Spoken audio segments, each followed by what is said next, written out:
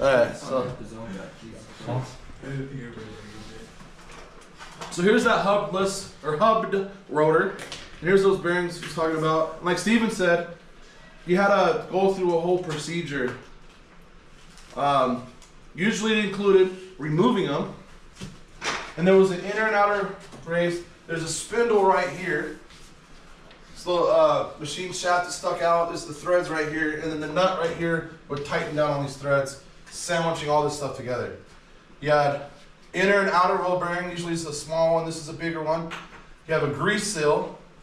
And the trick was is you took the nut off, you take the outer bearing out, put the nut back on there, and then when you just yanked the rotor off, and then the nut would catch the bearing, which would pull the seal off and usually not damage the seal. Then you take it to the parts washer and remove all the old grease. You would inspect these bearings. Here's an ASE question. What if only one bearing was, like one roller on one of these bearings was damaged? You replace both. You gotta replace the whole thing, right? Not just the bearing, there's also a race you can't see in here. Um, the other half of the bearing, this piece right here, they're, they're, they're machine matched. If you replace the bearing, you gotta replace this race. Which means you gotta get like a, a punch or a brass drift is usually better, which is like a big punch made out of brass so it didn't damage this thing. You don't have to worry about damaging it when you're knocking it out because you're throwing it away, but when you put a new one in there, um, you have to bang these things out. And then, if you had the right tool, it would match this, and it was kind of like a punch too, and you'd beat it with a hammer, and it would re, uh, reposition or seat this thing down in there, and you replace the bearing. Either way, reusing the old bearing or installing a new bearing, you had to repack the bearings, and that's what that grease is. That's bearing packing grease right there and you'd squeeze it in the open end until it oozed out. So here's the opening right here until it oozed out of this side over here, the, the, the narrow end. Um, then you put it all back together. Normally you would spin the rotor as you tighten down this nut. Usually it's just snug, but there is like a very low torque specification if you look at the repair manual. Usually it's some, some number of inch pounds or whatever. And then you back it off usually like an eighth of an inch or or eighth of a turn or a quarter of a turn. Isn't it the reason why you back it off is because like that first tightening, it's to make sure that it's like in there completely. Yes, that's exactly why. And drilled into this spindle is a hole that this cotter pin goes through, and it is either they call it a castled nut looks like a castle has like slots in the top of the nut, or a castled washer goes over that, and basically the pin keeps the nut from unscrewing because you just loosened it. Um, now there's the ASE question about another ASE question that you'll often see on the brakes ASE is what happens is if the hole in the, either the castle nut or the retainer right here doesn't line up with the hole in the spindle. Should you turn the nut to slightly tighten it to get the next hole to line up, or should you loosen it to get the previous hole to line up? Loosen it. If you have to turn this nut in order to get the hole to line up to put the cotter pin through there, always loosen, never tighten. Uh, the problem with these things is, is they're tapered, right? So when we start tightening down, it wedges in there. It's really the bearing that holds the wheel on the car. And when you would over tighten these things, that would cause the wheel to come off of the car, especially you know, usually happen at particularly bad times, you know, freeway speeds or going around a corner or something like that. And a lot of people didn't know what they were doing caused a lot of accidents because they would think it needed to be tight. They would tighten this thing down and tighten it and tighten it and tighten it. No, the thing's got to be a little bit loose. Matter of fact, there's a, another specification that's on the ASE practice test in the computer lab that you guys are going to take. You should verify that it's properly preloaded. That's the terminology for setting the tightness of this nut, preloading. And how you do that is you get a dial indicator, a magnetic based dial indicator. You attach the magnet to the disc and then put the tip of the dial indicator on the spindle and you push and pull. You should have between one and five thousandths of an inch. That's the number you want to write down. That's, that's the answer to the um, new one to five thousandths of an inch free play or end to end play or whatever you want to call it. If you had nothing, That was too tight, and you could have premature or catastrophic belly bearing failure. If it was more than five thousandths, then you could have premature bearing failure. It was too loose. So between one and five thousandths was the specification. That's how you knew that you backed it off the proper amount. Usually it's between like an, an eighth or a quarter of a turn backwards. But it could vary between different cars because they could have coarse threads, they could have fine threads. The whatever the the angle that you backed it off, it needed to make that end play between one and five thousandths of an inch. If it was less than that, you need to back it off a little bit more. If it was more than that, you backed it off too much. Most technicians didn't know that. They would just tighten it, back it off a little bit, slap it back together, and usually it was fine. Too tight was significantly worse than too loose here. Yeah, there's a number right there, one to five thousandths. Yeah, is that? Yeah. So on that ASE question, it was um when you replace one wheel bearing, you need to replace what else? The race as well. See when you, you see my meme here. that part I was talking about that you had to hammer out. So they come like a they come in a set like this. Mm. I've seen some people, and, and it's happened, I guess, in a lot of other places too, where people would only replace the bearing right here, like a cursor one way. They simply replace this and try to reuse the race that's inside of here. Okay. They weren't made, they weren't built together. They were probably made by different factories, different manufacturers, or even the same manufacturer. It doesn't matter. These things are matched. It's a matched pair, so you always have to replace this race. So it, would- it would have said like, what's the correct repair?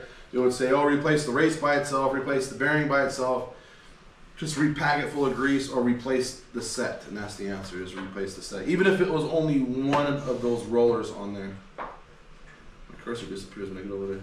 Weird.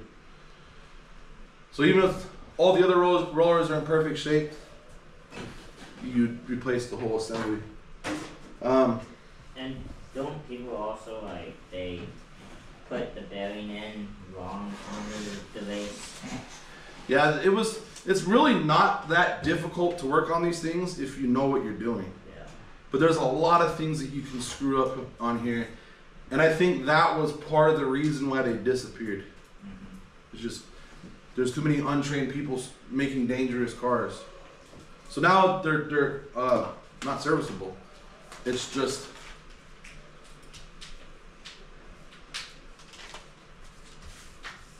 uh, I'll, I'll let's see what Google Images shows up. Wheel bearing. I have one, but it's all the way in the back closet over there, and it's faster just to.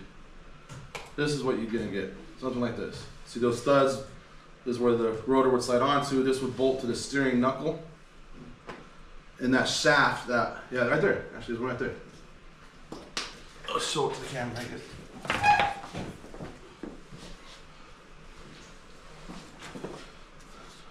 No, I don't know if these are gonna fit. Not really, but close. Separate. So this is a non-serviceable, non-adjustable bearing.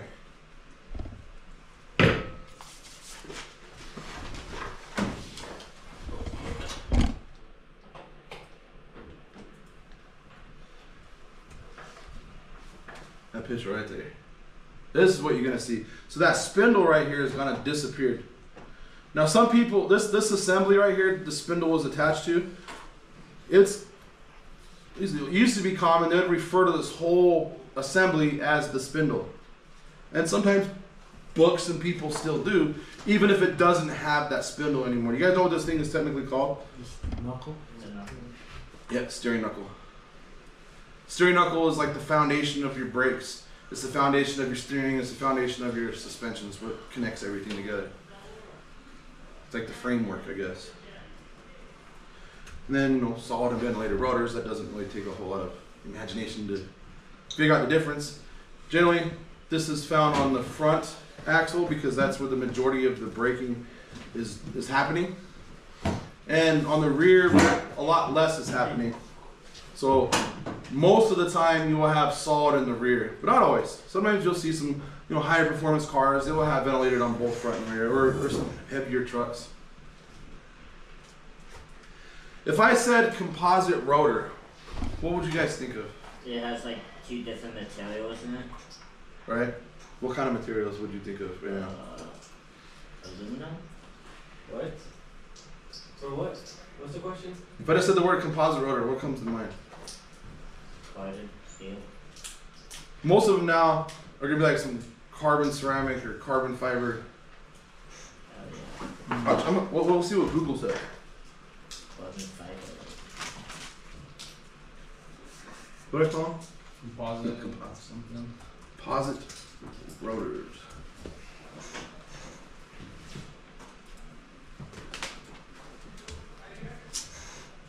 So like, like These the carbon rotors There you for go. like Porsche and Bugatti Yeah. and stuff. yeah. These things are expensive, man. Corvettes and stuff. Um, and we'll see why these things are beneficial over steel rotors later on. this is a composite rotor. We don't really deal with them in this class. This is like supercar stuff or really expensive upgrades to a race car. I want to do that. Oh man, when you working for Lamborghini. Oh yeah. I want to work with Lamborghini. How much do you think these kits cost? These are cheap. What? So cheap is it? Shop. Nine thousand. They go up to over twenty thousand. These are not composite. I don't know why they showed up. These are not composite. These are not composite.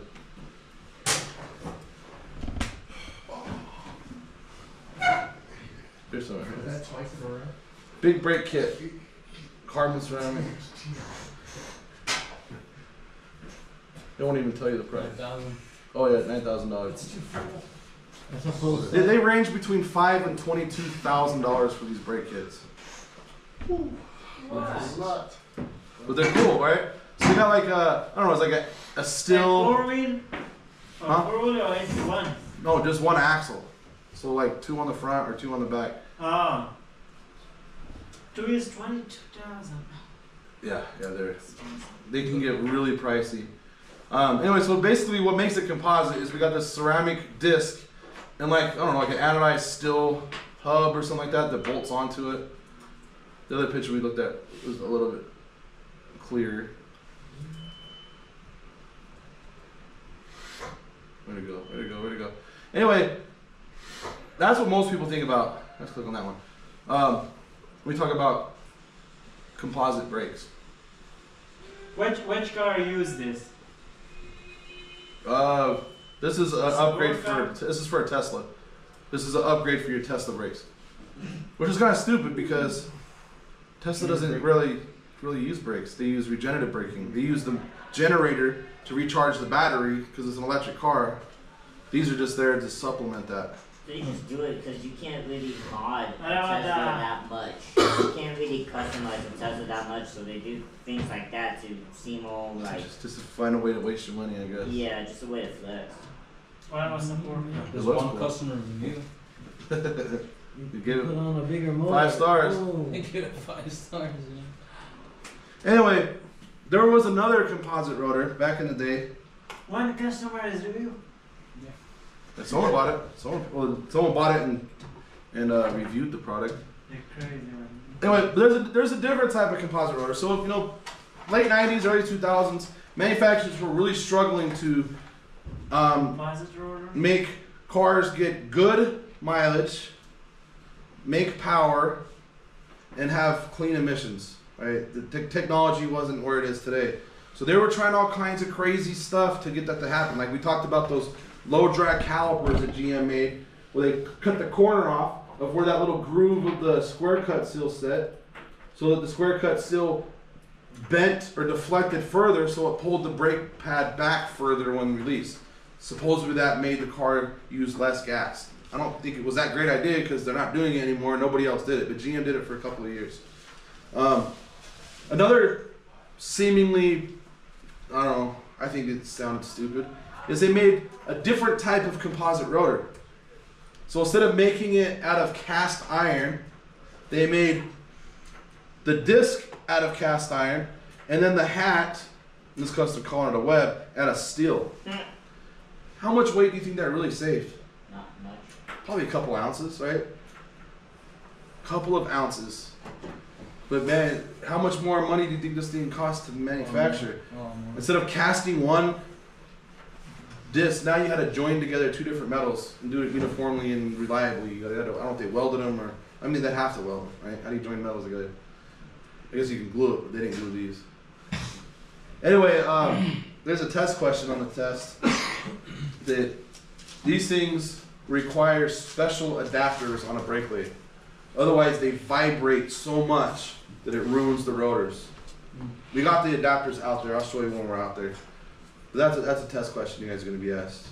Do composite rotors require special adapters on the brake lathe? Yes, they do. Is that like an ASE question? No, it's like a. I think it might be a final question. I know it's uh, one of the assessment questions in this class, and it's a dumbass question because we don't have any of these rotors anymore. We had a couple that were floating around. There might be one out there somewhere. So it's, it's you're getting tested on something that you never actually dealt with. So I'm, I'm just gonna tell you the answer. Yes, yes, you do. Special adapters. Adapter. Yeah, they're, they're basically you know those adapt. I don't know if you guys have ever used a brake lathe. They got these adapters to get it to fit. Yeah. They're kind of like that, but these things got a big giant chunk of rubber inside the adapters. The parts that normally don't have any rubber in it. To reduce noise No, to, to keep it from vibrating. Vibrating. Chattering is what they call it. Because when it vibrates, it, it you don't want your cutting bit or the rotor to be vibrating against each other because it will destroy the surface. Okay. Um, anyway, I'm sure that the benefit versus reward eventually lost its appeal because they stopped doing this. It, a lot of manufacturers are doing it for a couple of years, like like I said, late '90s, early 2000s. They don't do it. Any, I I don't know if anybody's doing it anymore. I'm pretty sure they don't. Toyota was doing it for a while. They're not doing it anymore because it's just so much more expensive to save a couple of ounces. Anyway, so nowadays when people talk about composite rotors, this is what they talk about. Um, generally, you're not going to see these on a, a daily driver unless somebody, you know, gets a Ferrari or something or a Porsche or like the whatever that top the is it the C8 whatever that Corvette is. Yeah. I think that comes with them from the factory. But these things are Seven does too. they're significantly more expensive. They're very expensive. Um, and you don't machine these things. You just you can save a little bit of money by unbolting the disc and bolting a new disc on there, and, and can keep the hub. But they're still very expensive. All right, so let's talk about a little bit of the, the science behind what these things have to do. So do you guys know? I, I- might have mentioned it like first aid. You guys know what the thermal energy unit is to measure heat energy? BTUs. There's a couple of them. BTUs and calories are BTUs is the British thermal unit. Calories is the metric version of it. Calories, that's how they measure the energy level of food, right?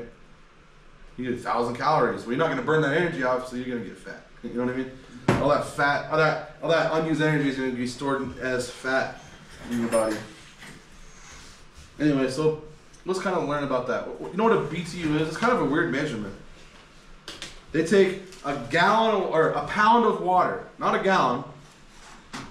I don't know why they don't use a gallon, but one pound of water, and it's the amount of heat energy required to raise that one pound of water by one degree. So, what is a BTU?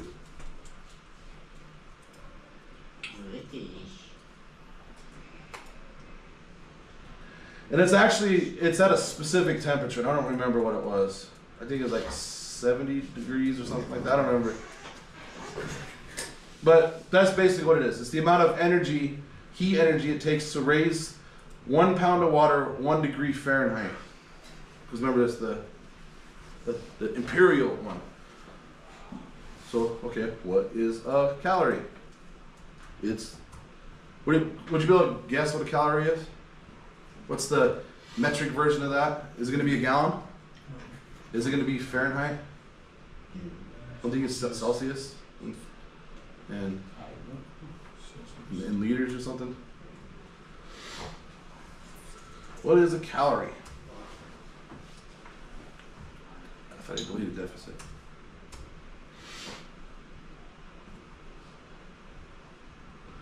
Okay, what is the definition of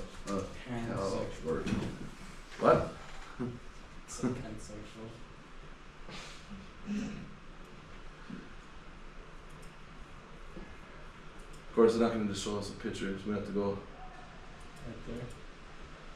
So it's one gram of water by one degree Celsius. But why? One gram. So how is that different than degrees?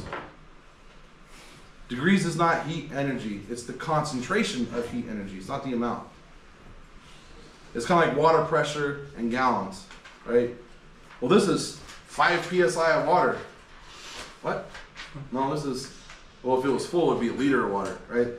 They're two different uh, measurements, right? We got water pressure or water weight, like they're using, you know, grams and uh, um, pounds, right? And I said liter. Liter is not weight.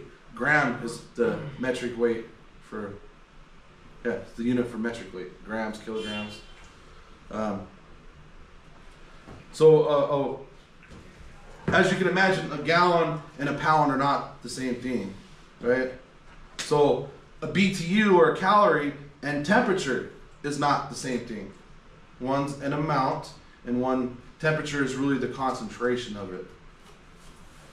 Um, you guys ever burn ants with the magnifying glass? Yeah. That's an example of concentrating the, the existing heat energy that's in the sun. Or actually, technically, that's not heat energy, that's solar radiation energy, right? And you're concentrating it. So when you concentrate that energy, what did it do to the temperature? Increase. It increased it.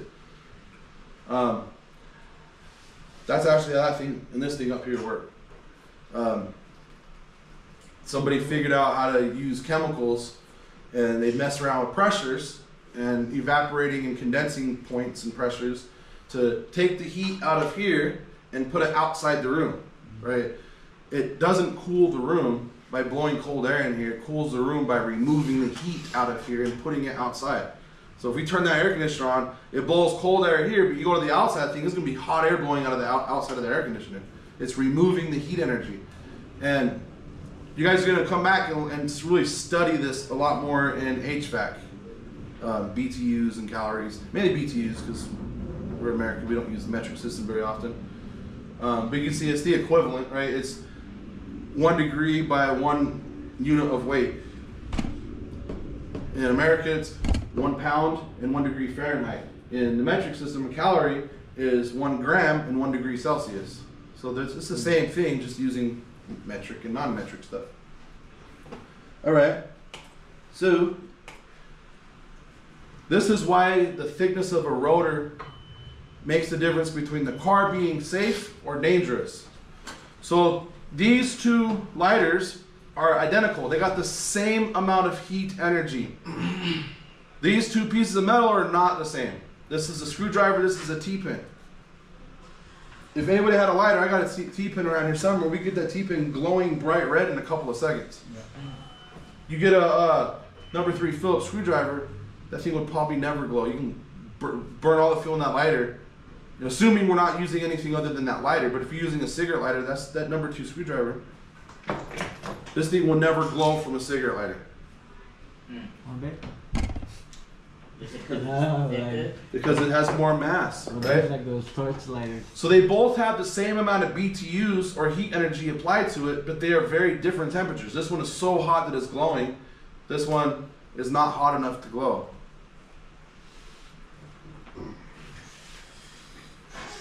So as you can see, a car is going to have the same thermal heat energy demands of the brakes, right? Because to slow a car down, you're converting kinetic energy into heat energy.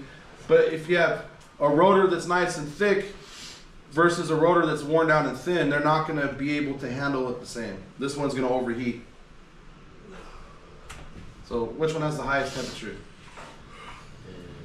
Which one's the highest temperature? Yeah, not not heat energy. Remember, temperature is like the concentration of heat. Hey man, it's glowing red. Hey, it's glowing.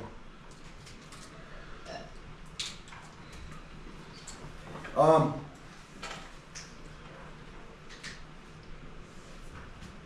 So does it take a lot to imagine why the thickness of a rotor is important? It's very important, right? Because remember, the rotor is the one dealing with this heat. Uh, so there is a minimum thickness specification. That is a line in the sand that the engineer said that based on the weight of this vehicle and the speeds that these vehicles are expected to run, that this thing is going to be able to handle that plus a little. so if they speed the car, the brakes should hopefully handle it, right? But they drive their car as designed and they're not driving recklessly or speeding or whatever, the brakes will definitely handle. But they usually make it a little bit better than what it needs to handle, just as a little margin of safety. If the rotor is below that minimum thickness, that rotor is not safe to be driven on the road because it's gonna do this rather than this. What happens when the brakes overheat? Brake fade. Brake fade, they stop working. Okay, what are the signs of brake fade? Or overheating, I should say. Heat spots. Yeah, that's that's that's one of them. And then you don't, uh, you wouldn't, what they call it, not sand it down, but, uh, you know Machine how- it. Huh? Machine Machine, it? it? Yeah, you want to machine it to have hot spots. You throw hot spots away, or they got all kinds of different names for it. So this this is in order of severity. One of the most common and least severe is glazing. Glazing is where it gets it's like buffed, it's polished, it's super shiny. You think that's gonna be beneficial for friction if it's mm-hmm. super slippery? No. So this, it's not ideal. It's going to slightly increase the stopping distance. The brakes are not going to work as good. But this happens a little bit. It's kind of pretty common, right? I don't know if I'd call it dangerous, but it's not ideal. We got a little bit hotter, you got what's called heat checking. Well, before we get to that point, you think we can fix this with the brake lathe? So remember, when you machine a rotor, when you're done with that rotor, when you put it back on the car, it has to be thick enough still. You still you want to be above the minimum thickness specification. You got to leave a little bit of room for wear, right? It's not a good idea to cut a rotor all the way down to its minimum specification and put it on a car because if it's okay today, is it going to last the life of the brake pads? No. Probably not, right? As soon as it wears out a little bit, it's too thin. So you got to leave a little bit of margin in there. Make a, leave a little bit of room for wear. The generic number is 15 thousandths. That is probably going to be a test question right there. How much thicker should a rotor be? At least 15 thousandths above the minimum thickness. Another name for this specification is the um, the machine to thickness or the uh, minimum service thickness. So wait, does the minimum, is the minimal thickness like different for each car? Yes. Yeah. Okay. That um, what is it? That's the machine to thickness. That's the smallest you'd ever machine it and put it back in service with the new set of brake pads. So that 15 thousandths gives you a little bit of room for wear. So those brake pads can wear into that rotor and, and that's insurance. So they're going to stay above that discard thickness, which is what's stamped on the rotor, which means you got to throw it away. Yeah. Um, for those um vented and solid rotors, it's different, right? Yeah, yeah. Every every rotor is going to be different. Um, so you're generally going to have three specifications. You got what Toyota calls standard thickness. That is brand new out of the box. And the good thing about knowing the the starting thickness when it's brand new versus you know where it is today is you can kind of get a rough idea of, of how long this this rotor is going to last, right? As long as things don't change, like you would never guarantee it, right? Because maybe like some lady, old lady was driving a car. Now her like heavy-footed grandson starts driving the car, and you guaranteed this rotor is going to last another two years. Well, you kind of shot yourself in the foot because that's things out of your control. So you never guarantee it, but you can give the customer, you know, a rough idea. Like, okay, well, you know, your rotors or your brake pads or whatever, you know, they're they're wearing at a rate of I don't know three thousandths of an inch per year. Based on this thing, you got X amount of months left or years left until it's going to get close to needing to be replaced. As long as things don't change, right? And we can't guarantee that, but it's just a, that's just a rough idea. Some some places like to do that to build value into the service, right? If you know, that, that, that- that's one of Toyota's philosophies is they don't try to be the cheapest. They're not a budget car company. Um, they're looking more for value, for people willing to spend a little bit more more money to get a little bit more. You know, they won't buy the cheapest car. They spend a little bit more money on the car, but they'll get a much better car out of it. That's kind of like their their business philosophy. That's one of the things that they've emphasized a lot in service departments at Toyota dealerships. Right? They want to give customers, you know, more than what they only what they're paying for. Information, peace of mind. You know that this car was looked over by a factory technician, and this is what they found, and you know everything that's going on with your car. You know it's going to be safe to drive to work. Like the wheel isn't going to fall off, your brakes aren't going to, you know, they're not on the verge of failing and causing an accident or something like that. As opposed to just taking it somewhere down the street and they just slap some pads on and give it back and go, "Okay, it's ready to go." Okay, well, how's everything else? Or you know, are you sure that it's not leaking coolant and my engine's about to overheat? You know, they provide all that information for you. It makes people feel like they're they're getting more for for it, and sometimes tracking wear um, is is one of those things that just a little step that gives the customer more value. GM says thirty thousandths. So remember I said uh, generically it's fifteen thousandths. GM says they want thirty thousandths above minimum thickness. That's their machine to wear. So the first one is standard thickness. The second one is machine to wear. That's the thinnest that you should ever give the rotor back to the customer with new sets of brakes. The third one is discard. That is the one that you will see somewhere etched or stamped into the rotor. That means when you get to that point, you throw it away, right? So that's our three specifications. Standard, machine to, and discard or throw away. Toyota gives you two of those. They give you standard and throwaway. Um, generally, it's fifteen thousand. Even with Toyotas, unless the repair manual says something different. So uh, you're going to be asked questions about what what what are we going to do about this? Do we need to replace this rotor, or can this rotor be fixed with the brake lathe? Can fix it. If it's thick enough. As long, there you go. As long as it's thick enough, we can machine this and fix it. So can, can this be fixed by the brake lathe? Maybe, based on the thickness. If there's enough material material here that we can, you know, resurface it and still be, you know, 15 thousandths or more above that throwaway thickness, that's probably what you should do. That would be better better for the customer. You know what I mean? It'd be better for the technician too. Because guess what you're gonna do now? You're gonna add some labor time for using the brake lathe. You don't get paid more money to replace rotors. Right? Some shops do give technicians like a very, very small percentage of parts. Most don't. Most you only get paid by labor. So meaning that you're taking that rotor off and putting it back on um, because you're already getting paid to disassemble the brakes.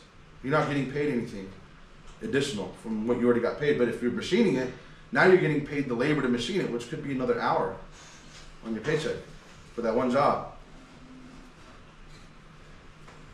Okay, the next severe heat checking. These look like little tiny surface cracks. This is a little bit more severe. This rotor got a little bit hotter than the other one did. The difference between this and a cracked rotor is these things are only on the surface. Can we fix this with a brake lathe? No, it says on the bottom, yeah. Yes. And it's the same, same caveat. Heating? Yeah, it's overheated. Way too Yeah. hot. Could that also cause like chipping where like when you put it on the brake lathe it kind of chips away a little bit more than it should If they're if they're a little too deep, then yeah. and then it could be under the thickness. So you have to throw. Now, if I start seeing a little bit more severe signs of overheating here, you really should do some investigating, right? It should never have gotten that hot. Um, it'd be a mistake just to, you know, machine it, put new brake pads on there, and send it out. What would you be looking for if you saw this on a rotor? Dragging, brake. Go see if it drags. Go check the other side. Maybe the other side has a problem with it, forcing this side to do more than its fair share of work. Um, so you know, check the other side. Check for dragging brakes. Check the adjustment of the rear brakes because some drummer brakes sometimes the, the adjuster doesn't work all that. All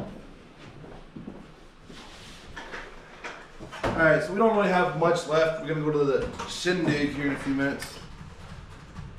Um, but this is an important concept. It's on the ASE. It's important to service brakes properly to understand this, especially diagnose them or prevent the problem to begin with. It is the sequence of events. Um, something caused excessive lateral runouts. Yeah, it's true that sometimes if the road out, run out is really bad, and sometimes it's that bad at, brand new out of the box, especially if they stacked it like this. When you go on a test drive, the car will shake when you hit the brake pedal. But because it does not shake when you hit the brake pedal, does not mean that the lateral run out is not excessive. What is excessive? So for the front rotors, the specification is two thousandths, and that's for almost every manufacturer. That's a number you're gonna want to write down as well. You're gonna be testing on that number. Um, it's two thousandths. For front rotor? Just just in general. They allow a little bit more in the back. You're not going to be tested on the back specification. Everybody except for like Nissan, Infiniti, and I think some Subarus say 1,000 is the maximum allow- allowable amount. So what if you got four thousandths? That's twice as much. Are you gonna feel that on your test drive? No. Then why is it a problem? Well, over time, that bent rotor is in the same spot over and over and over again. And that can do one of two things. That can either wear out that rotor in that one spot, cause thickness variation, or it can actually put an excessive amount of brake pad deposit material or material deposited on the rotor in that one spot, especially if they're really hot. It's normal for you to, to deposit a little bit of brake pad material. That actually improves the way the brakes work. But if it's hot and it keeps scraping in that one spot, it's going to deposit an excessive amount of brake material. Same result though. So if it's only like four thousandths, five thousandths, it's you know just a little bit above the maximum allowable lateral runout. It's going to take months or a, you know a few thousand miles, and that's how they talk about it on the ASE. It's like oh, car came in there, got brand new brake pads and rotors. Seven thousand miles later, the customer comes back with the brake pedal pulsation complaint. Which of the following is most likely the cause? Well, that answer is going to be improperly torqued lug nuts. Maybe they just did a circle pattern. Maybe they just used an impact gun, so that it wasn't tightened down properly. Um, I'm not going to talk about it today, but uh, what's I'm just going to mention it, you, you probably heard this from Steve. What's worse? What's more dangerous, loose lug nuts or over tightened lug nuts? Over time. Over tightened. Why? Because you could strip, um, he said something like you could, um, You don't get a warning. all It's this just happens. Because he said at one time, dude was turning his back and was just Yeah. What what? That doesn't mean that it's going to prevent it, but what? Hopefully, will the customer feel before their wheel comes off if they're loose? vibration will run out. Why is my car wide going like this? I probably should go check my. Oh shit, the wheel's about to fall off. That ain't gonna happen if they're over tightened. Now all bolts they have a little bit of elasticity to them, right? And torquing them stretches them just enough that they shouldn't stretch anymore and work themselves loose. That's why they need to be torqued down. Just like your your your you know your t-shirt or your you know your stretch band underwear. What happens if you overstretch them? They don't go back, right? Oh. You exceed their elasticity or their maximum stretch, then they're permanently stretched. Well, that's what happens to bolts. If you over tighten them, they get stretched and weakened. And then when you go around a, tor- a, a, a turn or a corner or something like that, and all the weight of the vehicle gets put on that thing, it goes from working perfectly fine to shearing off immediately, no warning, no wobbling, the wheel comes off. And you know, you're going fast enough or in the wrong spot, that could be deadly for somebody. Um, there is a whole industry out there, and you can Google it. Normally, I'd Google it in class, but we're running really short on time. Um, called metallurgic forensic investigators. So when there is an accident and it results in a death or a large, you know, a large amount of money or expensive things being damaged, insurance companies don't want to pay for that. So they will hire these investigative laboratories out there, or even the uh, you know TSA or uh, not TSA, the FAA, like when there's a plane crash, they want to see if it's pilot error or equipment failure or something like that.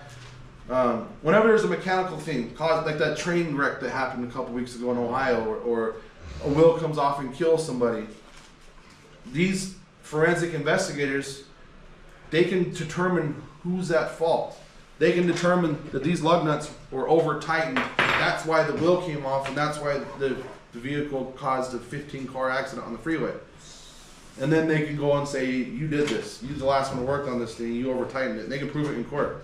And then you can be held criminally and civilly liable. You can get sued and even get charged with, you know, some kind of negligence, negligent homicide if somebody dies or whatever. Yeah, you, you can get a lot of trouble for it. Doesn't happen a lot, but it does happen. Right? It's very rare. It will never happen if you do it properly. I've heard of like some places like you know they've been instructed like not to torque nuts. They just hit them with the impact wrench. Yeah, th- that that's going to be a small shop. If you go to a large shop like Larry H. Miller, they have like 80 dealerships, places that are big enough that they've had issues and they've gotten sued over this. They are extremely strict. If you work for a large company that has lots of locations, it's more likely you're going to see this. Um, all the shops I worked at, you would get fired if two people didn't sign the work order. They gotta put a cone behind the car at one place I worked at, and you would torque all the lug nuts with the torque wrench, sign off on there, go find somebody else, you know, your supervisor or coworker. They would have to double check with the torque wrench and also sign on the second line. That's why I don't like mechanics that say like, oh, I don't torque anything down. I just give it a couple other others, and it's Yeah. like, dude, that's, That's not supposed to be that's supposed to be a meme, not not instructions. Well, yeah, but I know there's there's actual mechanics that actually like Um, they do the work by that way. They don't listen One of the to it. So here's basically that sequence of events. That's worst case scenario. Best case scenario, this will happen. And when you they start off the video, one of the most most difficult problems to fully resolve is not an exaggeration. This is I was talking about this earlier. We solved this with the on-car brake lathe. But back then they weren't common, so other dealerships they were never able to fix this, so the car kept coming back and eventually was legally a lemon car and ended up being a buyback. And then we would buy it from the auction, and, and the car is perfectly fine. We just use the on-car brake lathe. We fix this properly, and we sell the car for good money and whatever. Anyway, this is really good because it puts that sequence into, of events. One of the most difficult problems to fully resolve is brake pedal pulsation, a condition caused by excessive lateral runout of the brake rotors. When runout is excessive, a portion of the rotor comes in contact with the brake pad on each revolution, causing irregular wear at the contact point, resulting in thickness variation of the rotor surface. So how long does it take to go from someone using an impact gun to it causing enough lateral runouts that causes enough you know, uneven wear to the point where it causes the brake pedal to pulsate? It can be weeks or it can be months. So your test drive and the brakes are fine doesn't mean that the car is not going to come back. The only way you can be sure is you put a dial indicator on there, and you can get pretty quick at it, and know that it's two thousandths or less. Then you don't have to worry about it, as long as somebody else doesn't do that. You can measure thickness variation with a micrometer. Take your readings at eight equidistant points on the rotor, then subtract the smallest reading from the largest. If it is greater than 8 ten thousandths of an inch, or two hundredths of a millimeter, the rotor should be resurfaced. That's another specification you're going to need to remember on your test. There's two of them. Two thousandths of an inch maximum lateral runout. Eight ten thousandths of an inch um, maximum thickness variation. Ah, good. So make sure the rear brakes are contributing like they're supposed to too. the slide pins. maybe? Yeah, maybe the slide pins are holding the brake pad against the rotor all the time because they don't release like they're supposed to. Um, What if you see like a if it's a Subaru and they got a vape and they got a bunch of like uh, what are those little, little little dolls they put on drift cars? The bobbleheads? No, like they usually like, they, they they hang them off the back bumper. oh, the balls? No, like the little dolls, Oh. like little Japanese dolls. Oh, no. I can't remember what they call. Uh, Anyway, you, you look at this thing like they got a bunch of anime seat covers, hentai seat covers or something. You, you pray for that car. What are you gonna think happened here? Maybe it's stereotyping, but I'm gonna think they're they're abusing the fuck out of their brakes, or Yeah. excuse me, abusing their brakes, right? They're trying to drift and they're failing really bad. I had a situation like this, and I wasn't it wasn't exactly the same, but there was a uh, I was working at a Chrysler dealership, and there was this this Ram truck that kept having overheating brakes, and I could never find anything wrong with it. It kept coming back every couple of months with brake problems, right? And the boss was like, you know, starting to get on me. He's like, man, this is not good. You know, what's going on? And why is this truck keep coming back? I'm like, man, I'm trying to figure it out. Third time I was coming in, I seen that truck getting dropped off again, and it was a 1500, a, a half ton truck, and they were pulling, um, what the hell they call it? Those excavators, those big ass construction equipment. That was significantly more than the um, the towing capacity of that truck. Of course. I took a picture of my phone. I like, hey, I found out what's wrong with that truck because he was like, when I was walking in, I was like, he was like, oh, that changes everything. and he called him up. He's like, hey, we can't warranty your brakes anymore. Um, they're, they're, they're you're using them for what they're not designed for. You know what I mean? Like they, they should have had a, a truck that had the towing capacity rated for those, the, the, the kind of weight that that thing was was pulling. Like, and they, they came and was like, oh yeah, we pull that thing all the time. Yeah, we didn't know. Like, yeah, you didn't know, huh? um, but I, I, I did the brakes again, but I got paid for it. I didn't have to do it. I didn't have to do it for free again. I didn't, I didn't have to warranty it. Fortunately, the time before, I was just, I was just out of luck that time. They wouldn't reimburse me for it because they don't want to. They don't want to, you know, piss the customer off. We already did it for free once. We're not gonna go back. Hey, you know what? One time, like you know, three months ago, yeah, we, you have to pay for that now because they, they spent a lot of money with us. You know what I mean? So they, it was just better to, to keep the customer and, and eat the cost. But we wasn't gonna keep doing it because it wasn't gonna help anybody out. They were gonna continue to be unhappy with the brake job, and I and we were gonna continue to have to fix this brake job for free.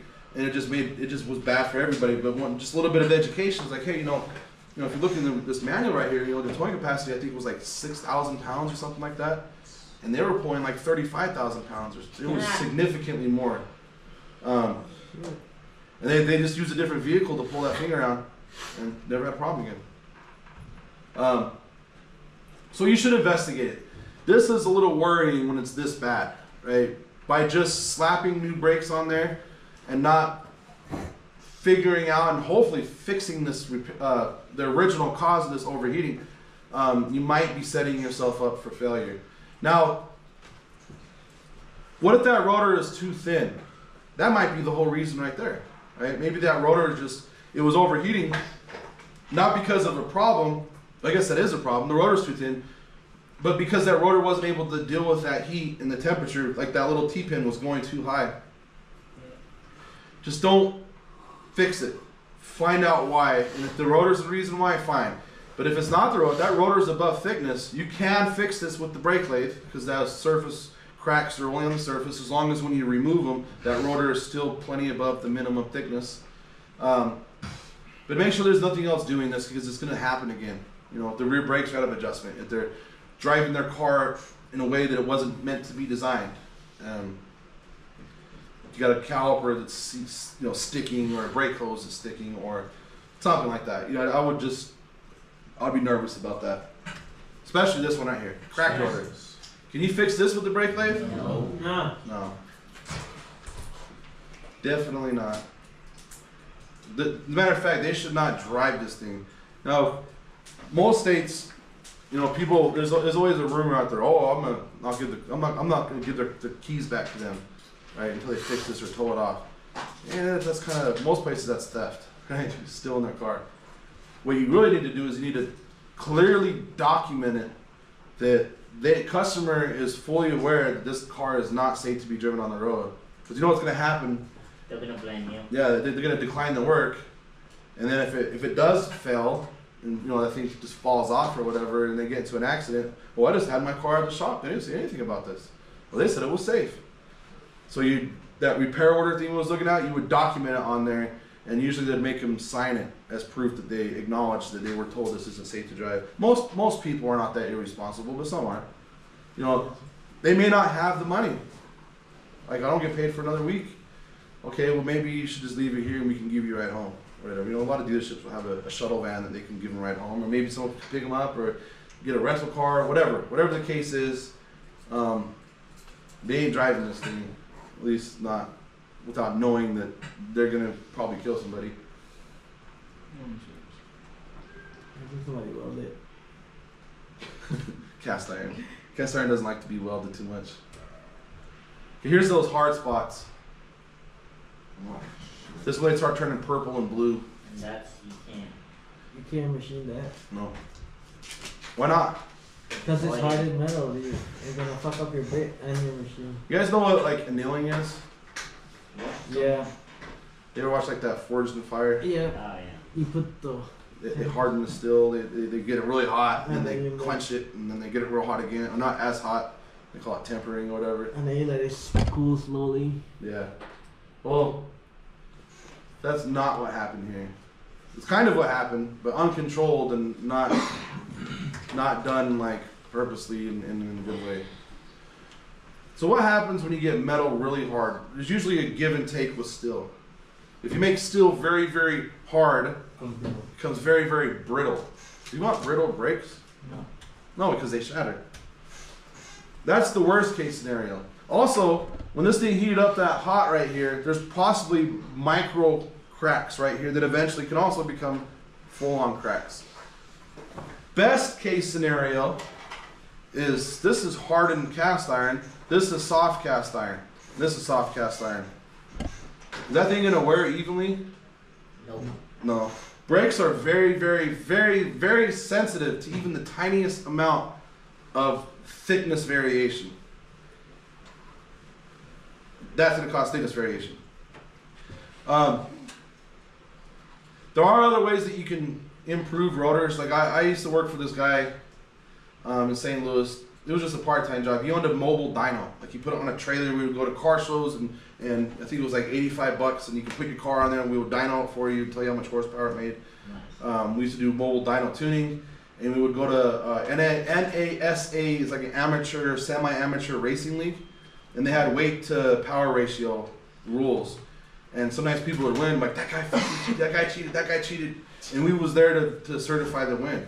Like okay, well if someone contests it, we're gonna dyno your car and weigh it, and if you made too much power, you get disqualified, and then this, the guy who won second place would get first place or whatever. We never caught anybody cheating, but we would do that. You know, so we'd go to these Sunday races or whatever. It was pretty cool. But the guy also, he was a lawyer. He was he owned a, um, a bunch of apartments, but he also owned this export business, and he would export like limousines and construction equipment to the Virgin Islands. And he was having problems with limousines because I guess the Virgin Islands has lots of hills in like St. Thomas or whatever, and it was just tearing up the brakes. Those limousines are heavy, usually bigger than what the brakes were designed originally designed to ha- handle or whatever. And he kept replacing these rotors because they'd, they'd overheat and crack and, and get hard spots and everything. And he was telling me about this uh, this this treatment they have. It's kind of like what they do in that forged in fire, but in reverse. They go from a really high temperature to a much lower temperature. But instead of heating it up, they use room temperature, and then they stuck it in liquid nitrogen. They call it cryogenically treated. Now, it didn't make him any harder, but I guess what it did is it rearranged the molecules in a way that made them much more durable. And since then, you can get all kinds of, you can send all kinds of stuff to them musical instruments, crankshafts, pistons, rotors.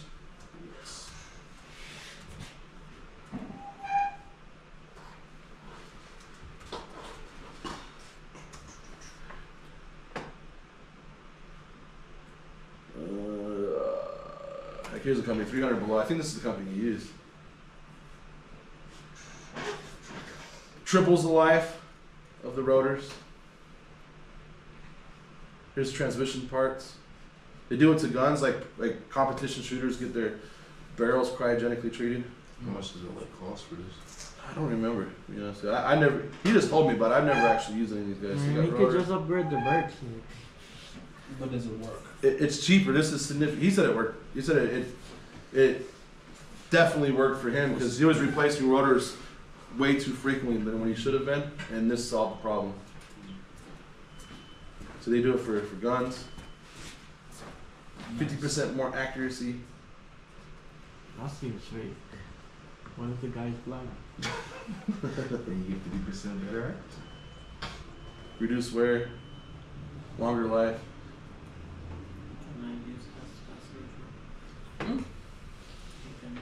That's fifty times zero.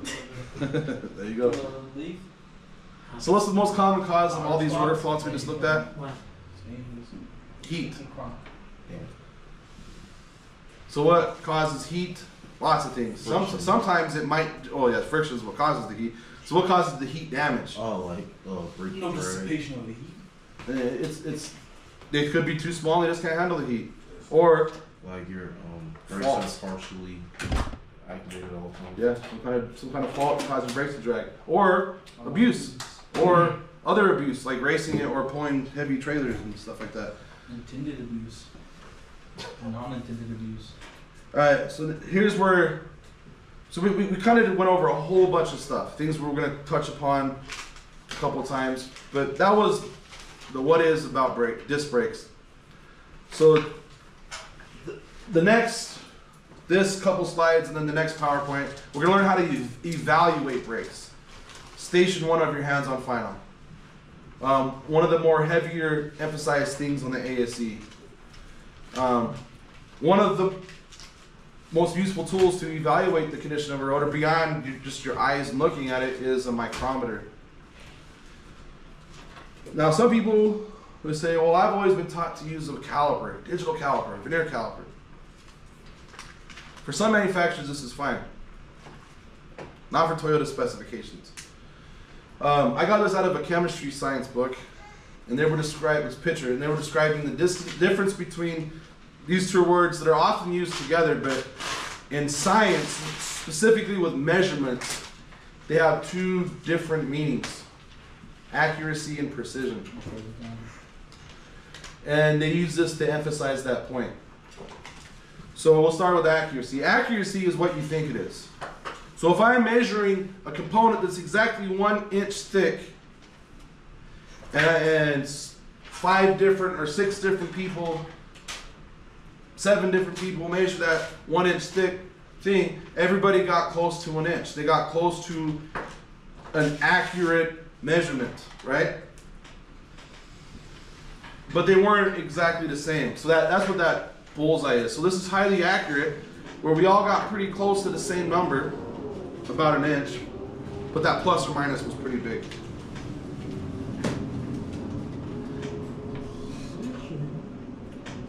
Okay, then what is precision then? Precision is actually consistency or repeatability. So when we, when we talk about, if you ever listen to Steve talk about his shooting or whatever, hmm. they don't necessarily call it accurate shooting. Oh, I'm in, a, you know, I'm in this club where we talk about accuracy shooting. Accuracy, they kind of talk about traits with the barrel or whatever, but it's precision shooting. Precision's easy because you can, you know, if you're shooting at a target and you're hitting up here, you just adjust your scope to move your crosshairs down here, and bam, now you're hitting the, the bullseye every time. So precision is repeatability or consistency. So if in this case, six people took a measurement, even though they're wrong, low accuracy, they all got basically the same value each time, over and over and over again. But they're wrong, right? So that would be low accuracy and low or high precision. This is low both, like they're just all over the place.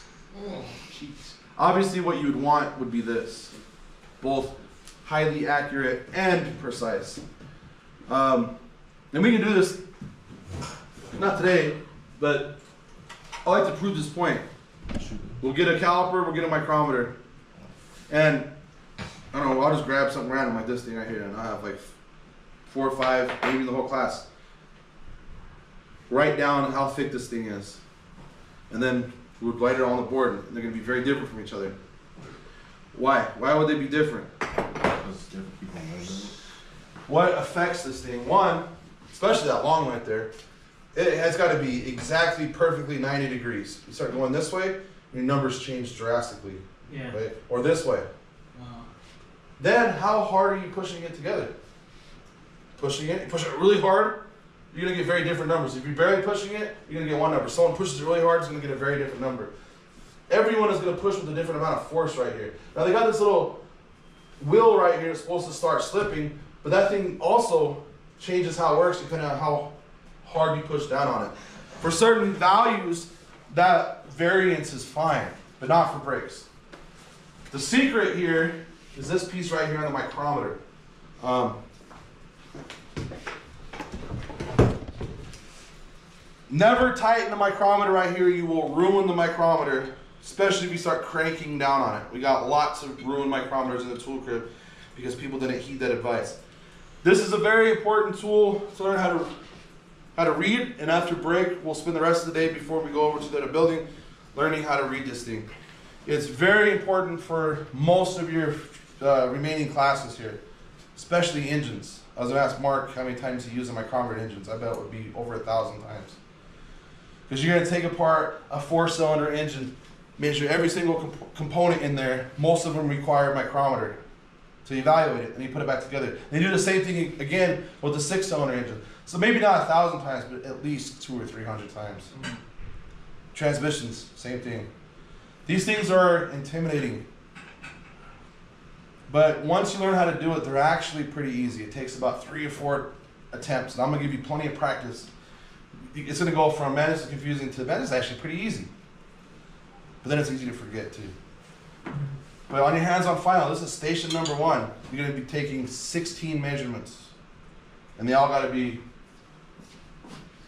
highly accurate and highly precise. Basically, the numbers you give me on that paper need to be, Well, you know. they gotta be realistic. Mm. I, I, I got ways of knowing. And, and it usually has to do with timestamps, right? Like, this person did it, they cut the rotor, and when they're done, this is what the rotor was. The next person worked on it. If their number is bigger than the last person's, I know they made it up. Right? And then I, I don't know. There's a lot of different. That's that's one of five different things I do to verify it. Is that a working one? Or is that busted? Most works. It's way bigger than you need for a rotor, but I'm wondering. Anyway, the secret to this thing is, like I said, you don't turn this thing, turn this thing. This is like a little ratcheting clutch. So when this thing hits whatever you got inside of here, it turns and turns and turns, and then look it, it lets go. It's like a torque stick. No matter how fast or much you turn this thing, it will never tighten any further than what it's already tightened. This is what makes it precise. The calibration is what makes it accurate. And that's what gets ruined when people do this. So they end up getting consistent numbers that are wrong because people use the tool incorrectly. But as long as the micrometer is properly calibrated and you don't crank it down with this, you only use this piece right here, everybody will get damn near exactly the same value and it will be a correct value.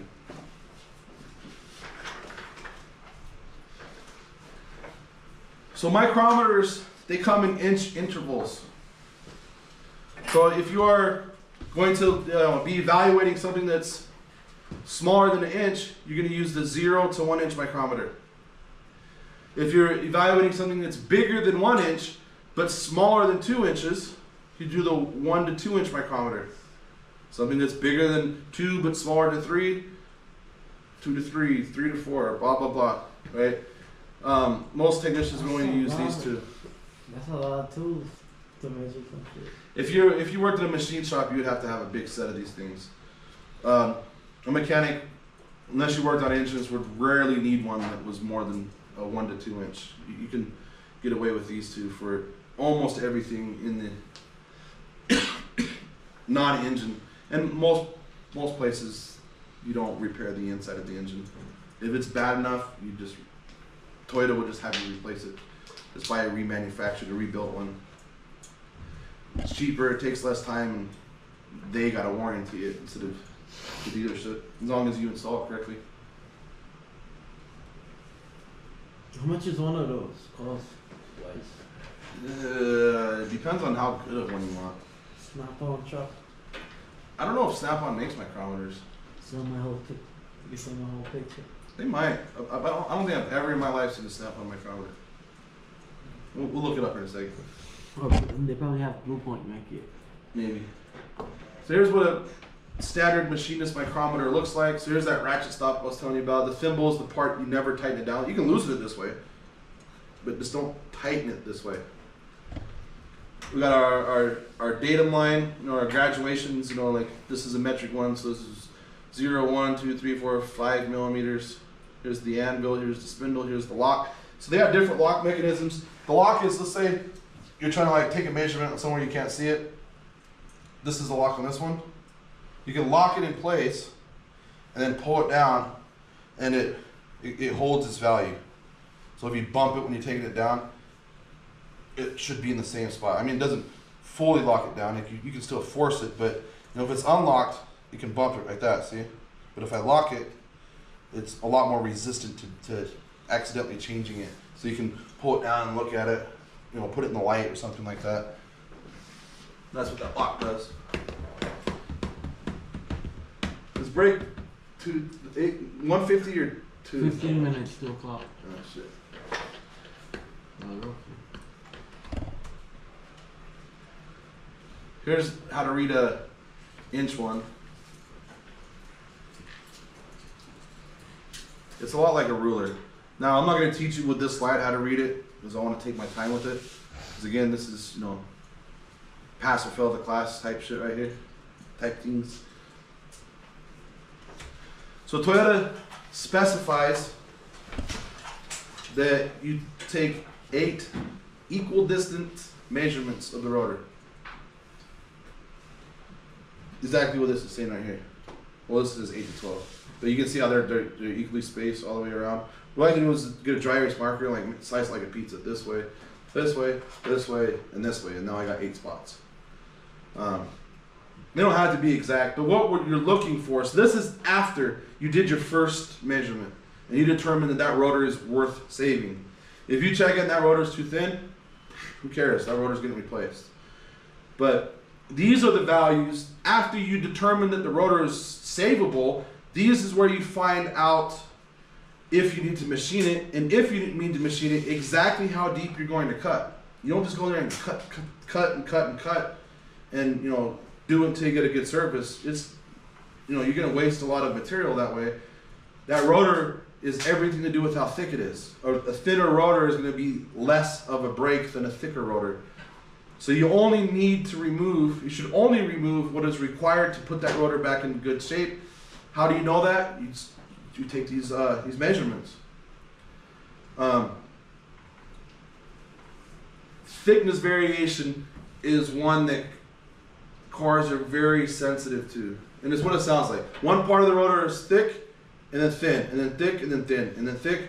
And what that does is it goes to a thin spot, so a little bit of brake fluid goes in there. Then it goes to a thick spot, spreads those brake pads, and sends that brake fluid back up. Causes the brake pedal to vibrate. They call it brake pedal pulsation. So you would cut it to the thinnest one, like the measurement that you took? Wh- Whatever, however deep it needs to get rid of any difference between one spot or another. So yeah, basically to the thinnest one. That will get rid of the, the differences or the variation. So if you're um, if the thinnest measurement is like um, below like the specification, you would just get rid of it. Yeah, it's, it's, it ain't it ain't savable or serviceable is what they would call it. So we would only be now. A lot of people they I don't know if they just heard it from somebody or they're they're intimidated by micrometers, but it's it's a myth. At least with Toyotas it is, and every other vehicle I, I've ever looked at. People say the oh rotors come so thin from the factory, you just got to replace it every time. You're ripping a customer off. Toyota rotors from the factory have enough material that you can probably get through at least a couple of set of brake pads. Like you can machine them multiple times They got a huge tolerance there. They're so much thicker than the minimum thickness. So saying that they're they're too thin from the factory, I think it's just people who don't know how to read the tool. They, they don't want to look dumb, so they say, "Oh, those things they they're so thin nowadays that you, you can't even machine them anymore." No, just look at go look at the repair manual. You got a lot of material there. Uh, there was a uh, a counselor used to work here, and then that's he took it to a shop down the street, and that's what they told him. Like all the, those rotors are too thin. You know, they, they, they come paper thin from the factory. And so he brought him in here. He's like, oh, I'm, I think they lied to me. Can you check them out? And I measured them right in front of him, and we looked up TIS, and they were they were like eighty thousandths above. Like he could have gotten a couple couple more sets of brake pads out of that. And it didn't help anybody but the but the shop, right? The shop made more money. The technician working on it, he lost out on money. He could have saved um, the customer money by giving him a lower bill by re- re- refinishing the rotors, and then the technician could have made more money because um, he would have got more labor. So the bill would have been cheaper, and the technician would have made more money. So the only person who benefited was the owner of the of the business, not not the vehicle owner, not the, not the technician. So I don't know. So um, for the ones with like the cracks or like rust, right? You know, like when you you make one pass, you see how much rust you get off. If you did that like one pass and you you measured it, not even worth it no more. You just get rid of it too. Yeah, you, you you never want to risk a rotor getting below its minimum thickness, even if it's like halfway through the brake pad. If it's just one, do you just like replace that one and if it's not ideal. Now disc brakes are a little bit more forgiving for that. Like I would I wouldn't offer that, them that unless they're like "Oh, I can't afford that. Like well I can make it a little bit cheaper. I'm not gonna be able to warranty it or whatever. Or maybe you can still warranty, but I would I would I would never op- offer that unless it was that was going to be the difference of them being able to afford fixing their brakes or not. You know if mean? it's like warranty, would they Well, warranty, yeah, they'd make you just replace them on Toyota. oh, Toyota, just Toy- one? Yeah, but Toyota almost never warranties any brake complaints, unless it was like a, a, a failed brake hose that caused one rotor to go bad under warranty. But they consider tires and brakes wear items that are generally, apart from a defect, not warrantable.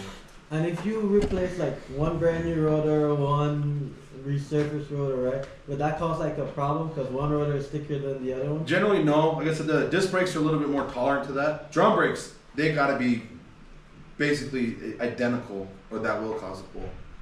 Drum brakes gotta be within two thousandths of an inch of diameter, so one can't be big and small, because that will cause unequal braking. D- Disc brakes are a lot more forgiving for that. But it's just good practice to if you do everything in pairs. So if you're gonna replace one rotor instead of brake pads, just do the whole axle, both sides there's always you know exceptions to the rule, but that's that's that's the best practice. That's the one that everyone wins. Customer has a better brake job. You do make more money because you know you're, you're doing more work, and the customer has. Then the shop makes more money because they sold more work, and the customer has a safer brake system. There's always there's always you know exceptions, but drums, yeah, you'd never do that with a drum. It, it, that would cause more problems if they were different. Anyway, so that thickness variation, okay, so when you get to that thick spot, it forces the brake pads apart, forces brake fluid up, makes your brake pedal vibrate. Brake pedal pulsation. It could make the brakes feel very dangerous. It feels way more dangerous than it really is. It can make the whole car shake. Um, I mean, it's not great. It, it will likely increase the stopping distance a little bit, but it feels like the brakes are gonna fall off of the car. Like I've seen shake the whole car so badly that the rear view mirror that was glued to the windshield fell off, and it was like, like it was gonna rattle your teeth out of your head on the freeway. And that's constant. U- u- Oh. Usually, only during braking, and usually at, at higher speeds is when you when you really feel it. So how would you tell if it's like the ABS or if it's like Um, like the ABS light will usually come on to tell you that it's act, that it's doing something right now, and it's a much faster. This one just uh, uh, uh, it's about you know a third of the speed. So what causes thickness variation? Hmm. Can you use brake rotors? Run out. Could that go? Um, the most common cause is warped rotors, Mm. lateral run out. What does lateral run out mean? What does run out mean? That's a term you're gonna see a lot. in It's like the in and out movement, That's a type of run out. like side to side or whatever. Another type of run out. So you got a lateral dynamic run out. It's So it, it, it can be movement, play. Um, usually that's what. Usually it's those two things. I'm probably forgetting something, but it's usually movement or play.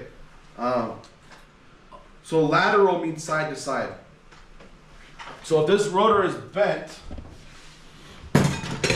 and as it rotates, it's moving side to side because it's wobbling because it's bent. That's where the lateral comes from. Lateral run out. Axial run out is what we just were talking about with the, the bearing play, how we push and pull on its axis. That's one. Another one, which does not apply to brakes, but you'll do it in other places, like tires, is radial run out. You guys know what the radius is, the difference distance between the center and the outside? Yeah. A perfect circle will have a consistent radius all the way around. Something that's oval or out of round will have a difference, right? The distance between this part would be more versus from this part, so that we call radial runout because the radius changes. All we're concerned about here is side to side when it's wobbling. Lateral runout. This causes this. How long do you think it takes for lateral runout to turn into thickness variation? This is a couple of ASE questions. I don't they don't ask directly, but they basically tell you this. Six months. It can be months, yeah. Meaning that if you do a brake job, you go on a test drive, the brakes work perfectly fine. Does that mean you did a good job? know, The only way that you know that you did a good job is you got to put a dial indicator on there. You'll be surprised how many rotors, brand new out of the box, have way too much lateral runout. With the would the bearings cause that? Like you- Bearing can cause that too. So would- so could the so could the hub. This is another common cause of this. Anyway, if you ever find yourself stacking rotors, never stack them like this. This will cause a lot of lateral run out. Why is that?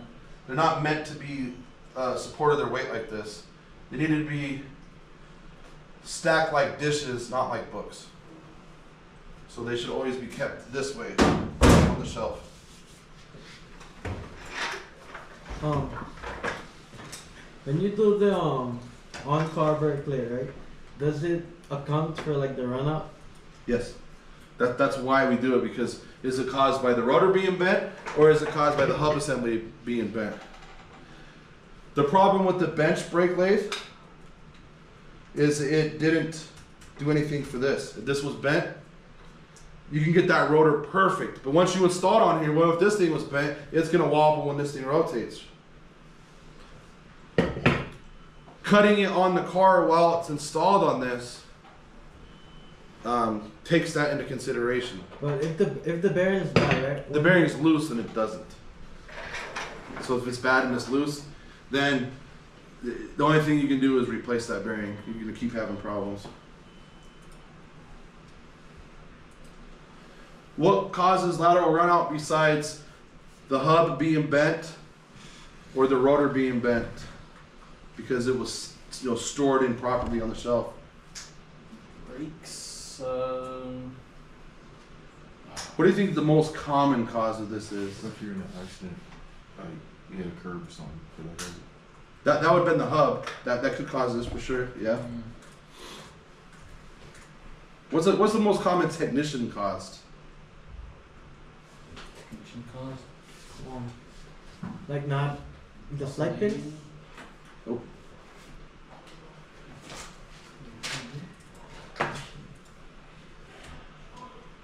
Oh, lug nuts, uneven. Uneven and improperly torqued lug nuts. Basically using the impact If you if or you doing a circle pattern. if you over tighten the lug nuts, right? That could bend the rotors. Yeah, because it's it's putting uneven stress on the on the, the hub assembly with the rotor sandwiched in between it. Aren't you supposed to like put the the impact gun like on the lowest setting? The best practice.